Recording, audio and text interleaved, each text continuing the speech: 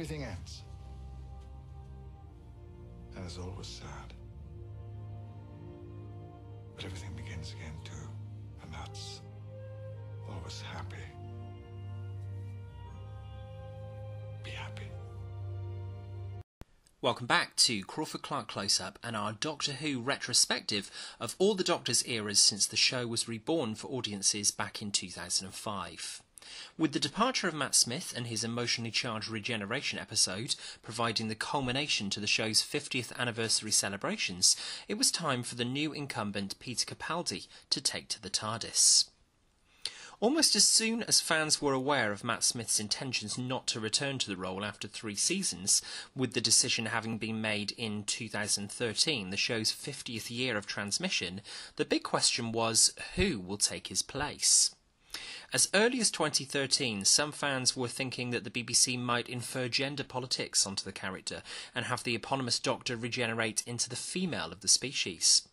This wasn't to be, as in August 2013, the BBC decided to air a full introduction to the new Doctor programme, with TV and radio personality Zoe Ball revealing the best kept secret that 55 year old Scottish actor Peter Capaldi will be taking over the role as the 12th Doctor, a hero for a whole new generation. A hardcore fan of the show from a young age, Capaldi, the second oldest actor to take on the role after William Hartnell's debut in 1963, they were both 55 years old when they began making Who, was like a kid in a sweet shop on discovering the role was his to make his own, and he didn't look back from there.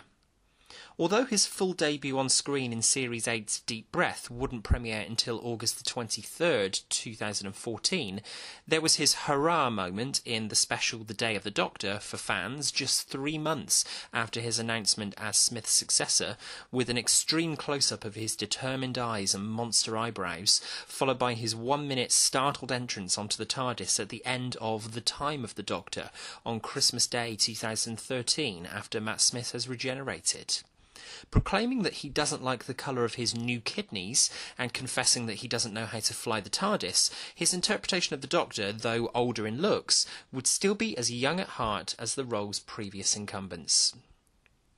From the serious publicity shots of Capaldi in early 2014, with dark coat complete with red lining and his intense stares straight to camera, fans knew they were in for a staggeringly different interpretation of this titular hero that we'd had in a long time. At least at first, it seemed like gone were the witty remarks and the cheeky one liners in favour of a sardonic, grisly man coming to terms with his personality, questioning why he has this face and what his purpose really is. A carryover from the late Matt Smith era was Jenna Coleman as enigmatic companion Clara Oswald. It's always underestimated how challenging the role of the companion is and how difficult it is for the actor or actress to find themselves suddenly working with an actor who has an entirely different approach to this character than his predecessor. But it was clear that Capaldi and Coleman would bounce off each other effectively, and it made their initially frosty dynamic in Series 8 all the more intriguing to study for the fans of the show. The thing that most fans find hard to argue against is that there was a significant come down after the roaring success of the show's 50th year, as it was the end of an era, saying goodbye to Matt Smith, again one of the most popular iterations of the Doctor, and we were making way for a Doctor who was a bit more hostile and took no prisoners. It even takes Matt Smith's Doctor cameoing at the end of Capaldi's first episode to encourage Clara to give the new guy a chance, as he's as scared as she is. This is inspired writing again from continuing showrunner Steven Moffat. He's ensuring both a skeptical Clara and Doctor Who audiences that Capaldi will be different but no less engaging than his predecessors. Another aspect hard to ignore is that Steven Moffat was at pains to work out what kind of doctor Capaldi was during his era. Between series 8 and 9, he seems to get a radical transformation from stern and wary to Mr. Cool, wearing specs, Patrick Troughton throwback patch trousers, and strumming a guitar. Whether this abrupt change in tone for the character worked or not on audiences, I can't personally say, but it was certainly jarring for this reviewer. The quality of writing during Capaldi's run had a direct impact on this, as we have some of the very best episodes of New Who during Capaldi's run, particular highlights being Mummy on the Orient Express and Heaven Sent, yet we also have some truly dismal episodes.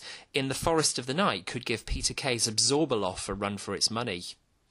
That said, by series 10, Moffat and to some extent Capaldi himself had managed to get the tone of the Twelfth Doctor down, and it's certainly his most consistent series of the three.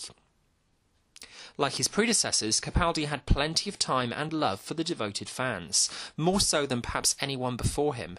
He could relate to the Doctor Who mania as he had been devoted to the show from such a young age, and now it was people of all ages idolising him as the character.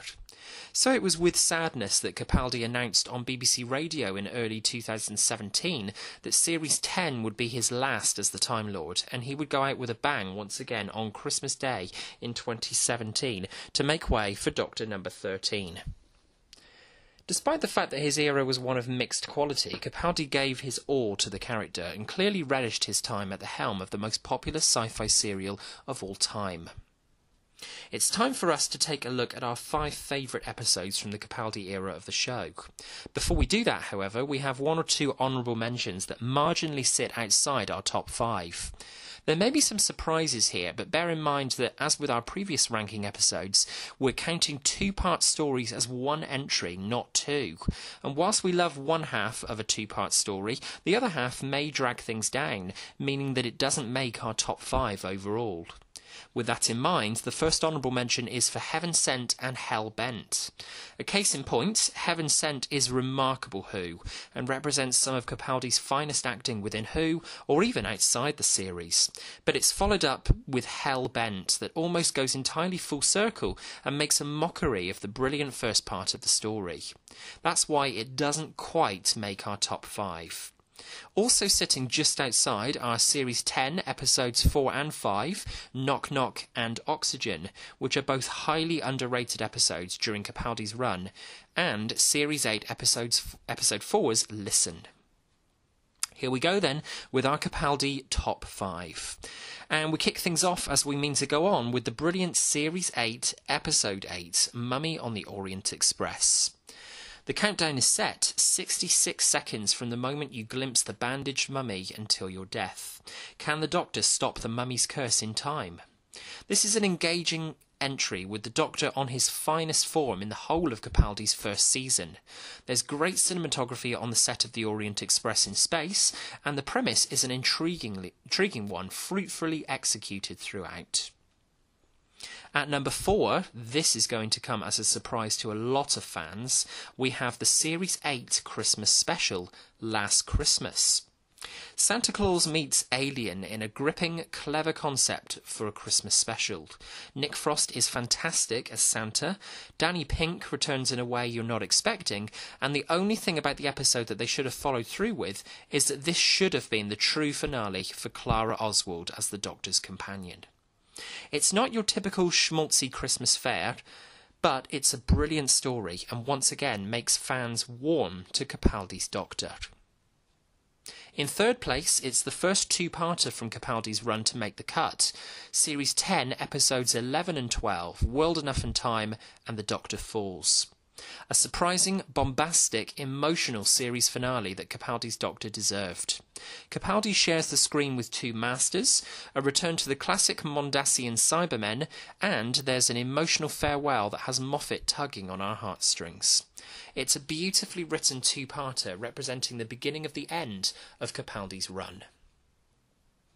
Just missing out on the top spot at number two is Series 9, Episodes 8 and 9 The Zygon Invasion and The Zygon Inversion a hugely entertaining two parter showcasing some of the very best of Capaldi, with the second part showcasing one of the Doctor's very best anti war speeches.